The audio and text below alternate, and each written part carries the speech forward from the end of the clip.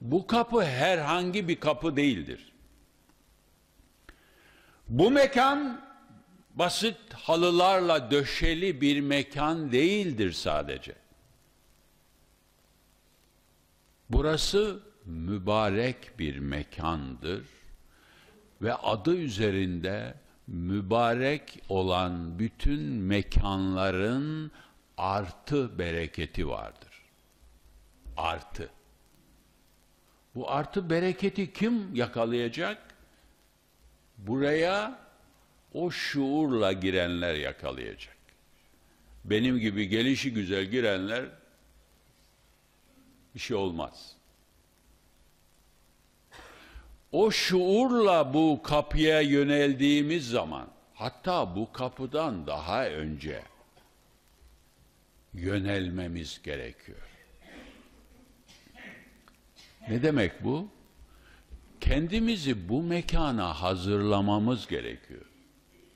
Bu mekan herhangi bir mekan değildir. Bu mekana ruhumuzu hazırlamamız gerekiyor. Ruhumuzu uyandırmamız gerekiyor. Bazen bırakın caminin kapısını, caminin içinde de laubali hareketler yapıyoruz. Olmaz. Bu maya tutmaz yani. Çünkü nereye girdiğimizin farkında değiliz. Ezan nedir biliyor musunuz? Ezan.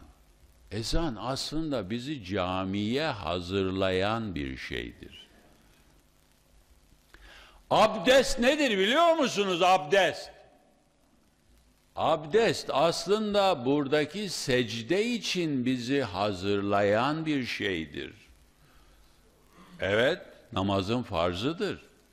Ama esas fonksiyonu buradaki secdeyi tam yapabilmek için ruhumuzu hazırlama mekanizmasıdır.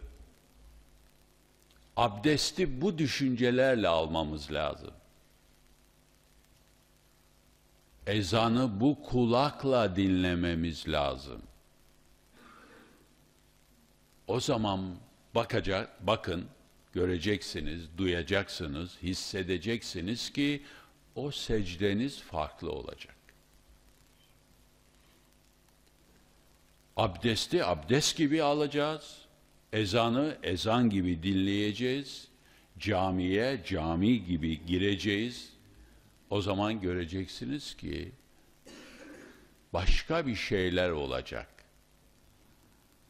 Ne oluyor aslında? Aslında olan şeyi tekrar ediyorum. Kendimizi namaza hazırlıyoruz. Bu bir anlamda zamanı zapturapt altına almak. Dedim ya demin. Zamanı zapturapt altına almak ve mekanın hakkını vermek. Mukaddes mekanlar bak tekrar. Mukaddes zamanlar, mübarek zamanlar olduğu gibi önümüzde bir de ganimet var. Başka bir ganimet. Nedir o? Mukaddes mekanlar. İşte bura. Mukaddes mekan deyince tabii aklımıza esas bu, buraların anası geliyor tabii. Buraların anası neresi? Mekke. Beytullah. Allah'ın evi. Bu kelime üzerinde düşünüyor musunuz? Allah'ın evi. Camiye girerken bu kelime üzerinde düşünüyor muyuz? Nereye giriyorum? Nereye giriyorum? Bu kapı kimin kapısı?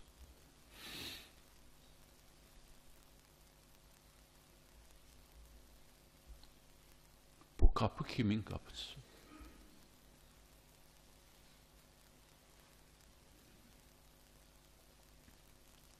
Girdiğim yer neresi?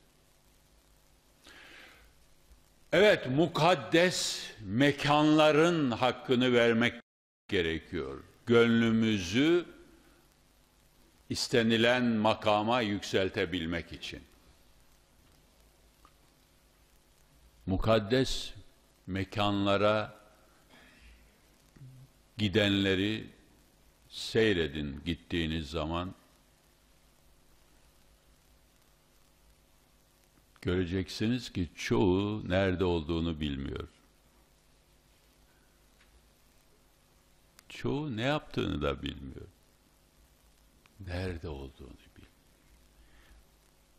Oraya kendimizi buradan hazırlamamız gerekiyor. Burada, burada nerede olduğumuzu bilirsek, orada da biliriz. Gittiğinizde o tavaf eden insanlara bakın. Çoğu oyun ve eğlencede. Kendimden hareketli söylüyorum tabi. Çoğu oyun ve eğlencede tavaf esnasında. Çoğu fotoğraf çekiyor. Başka yaptıkları bir şey yok. Tavaf etmek fotoğraf çekmek demek yani. Ne yazık ki. Niçin böyle oluyor? Çünkü nerede olduğumuzu bilmiyoruz da onun için. E yazık değil mi ama? Yazık değil mi ama? Allah'ın evinde oynayıp duruyorsun. Çocuk musun? Çocuk evde oynadığı zaman ona engel oluyorsun. Tabii orada sana engel olan da yok. Oyna dur. Bir daha git. Bir daha git. Bir daha oyna. Bir daha oyna. Bunlar bize bir şey kazandırmaz sevgili dostlar. Mekanların hakkını vermek gerekiyor. Gönül eğitimi için bu şarttır.